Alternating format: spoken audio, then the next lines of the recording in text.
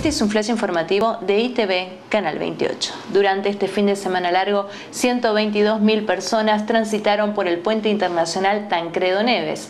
El día de mayor movimiento fue el sábado, con más de 35.000 tránsitos. Como todo fin de semana largo que está previsto en el puente, hubo una gran afluencia de, ciudadanos que ingresaron y egresaron por el pase internacional. Esta sede tomó las precauciones del caso y, logramos que sede central nos envíe refuerzos, así que vinieron eh, inspectores de Seiza a ayudarnos a hacer el control de ingreso y egreso, por lo cual este, no se vio afectado el movimiento en el centro de frontera y, se pudo trabajar normalmente sin ningún tipo de apremios. La mayoría del, turismo es argentino, los feriados largos nuestros, los feriados puente, es el turismo argentino.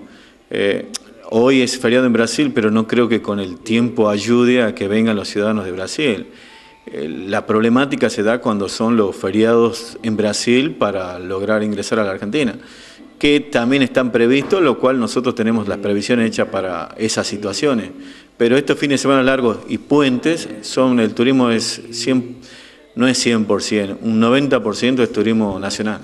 Eh, este, este movimiento, sí, tuvimos grandes movimientos y vos sabés que siempre el movimiento intenso es el viernes y el sábado, así que donde mayor se nota el tránsito, pero eh, estuvo movido el jueves, viernes, sábado y el domingo que están regresando los ciudadanos a, la Argentina. En estos cuatro días hubo 122 mil tránsitos aproximadamente que ingresaron y egresaron.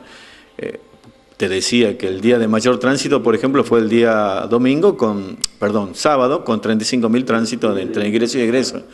Y en la suma total hace de 122.000 tránsitos.